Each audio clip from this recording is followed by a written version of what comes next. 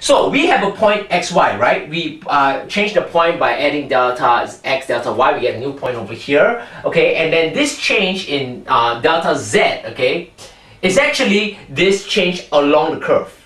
Okay, I hope you can see that because what I'm actually doing is that I'm applying the function to the new point, I'm subtracting, subtracting that um, by the old point, so it'll give me the difference of the points uh, that varies as I travel along the surface, okay, which, which you know, if I travel along the surface uh, in accordance to this line, I'm traveling along the curve. So this point is actually, the, okay, the value of z over here is the same as the value of z over there, so um, delta z, okay, or sorry, I should maybe say uh, triangle z, okay, triangle z Okay, delta z, delta z is better. I'll use dz for this. Delta z is given by the change over here as I travel along the surface. Now what is dz giving me?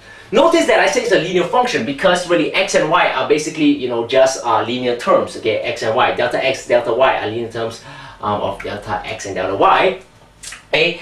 And because they're linear terms, notice that really this a and b describes the gradient as I travel along delta x and delta y.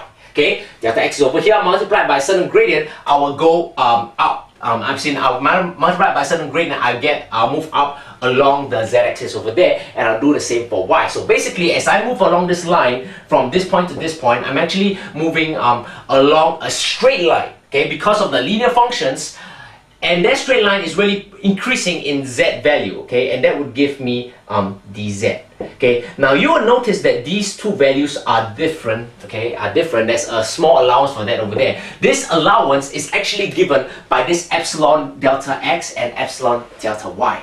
Okay, and lastly, if this delta x and delta y is to be made sufficiently small, okay, I can say that the delta z is actually approximately equals to dz. Now why is that so? It comes from these conditions over here. You see, if I were to make x and y sufficiently small, x and y actually tends towards 0. And if I were to just substitute 0 inside this epsilon 1, epsilon 2, they actually cancel out. And I know that the delta z is given by the total differential of dz. Okay, but I would still have these small values of delta x and delta y for me to be put inside here.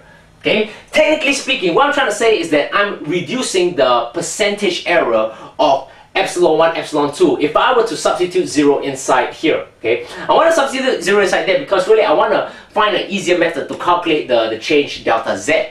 Okay, and that is given by the total differential dz, okay, which is the linear functions in terms of delta x and delta y. But obviously the problem now is finding a and b, which I'll do so in due course. So this is what we call the total differential. Total differential is really means two things. In general, it means when the function um, delta z can be expressed in this form over here. Like I show you this explicit example really shows that it can it can express in this form. If expressed in this form, we say that it has a total differential at a point xy, and the total differential is also another term dz is equals to a uh, delta x plus b delta y, and delta z is approximately equals to dz when delta x and delta y are made sufficiently small because it will reduce the percentage error by substituting 0 inside epsilon and epsilon 2.